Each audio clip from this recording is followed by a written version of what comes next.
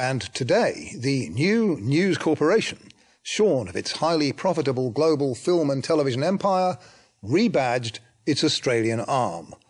News Limited has become News Corp Australia. Most of its major newspapers have now joined the Australian and the Herald Sun by putting up their own paywalls.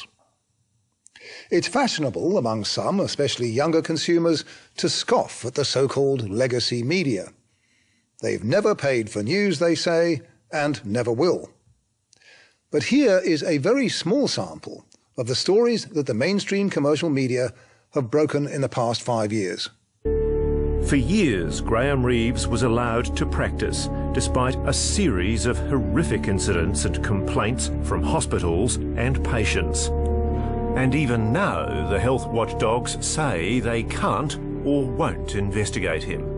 Desperate hours of island rape victim. The community police officer on the island was not prepared to walk around to the crime scene in the rain. Revealed the RBA's dodgy global deals. Securency Proprietary Limited, half owned by the Reserve Bank of Australia, has made a substantial number of commission payments to agents, including some previously implicated in corruption scandals. Exposed. Obeid's secret harbour deal. Former Minister Eddie Obeid's family has controlled some of Circular Quay's most prominent publicly owned properties by hiding its interests behind a front company.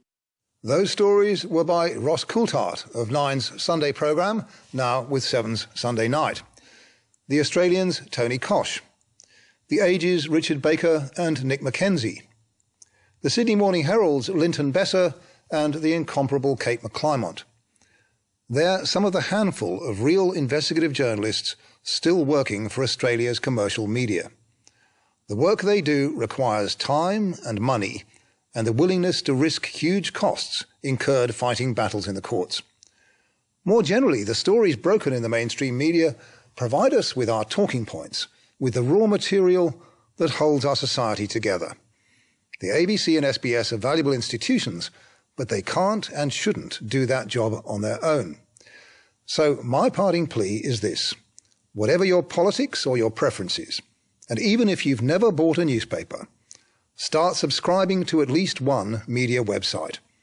Whether it's the Herald Sun or New Matilda, Crikey or the Sydney Morning Herald, old media or new, pay just a little to keep real journalism alive. Media Watch regularly shows you the worst, but the best, I still believe, is worth paying for. That's it from me. My thanks to the Media Watch team. They've been a real pleasure to work with and especially to my executive producer, Lin Buckfield. To the ABC's senior management, who've unfailingly supported us, however uncomfortable we sometimes make their lives, and who've never once interfered in the choices we make. And of course, to you, our loyal and mostly appreciative viewers.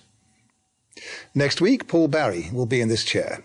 He's one of this country's most experienced journalists, and he doesn't scare easily. You'll be in very good hands. And now from me, good night and goodbye.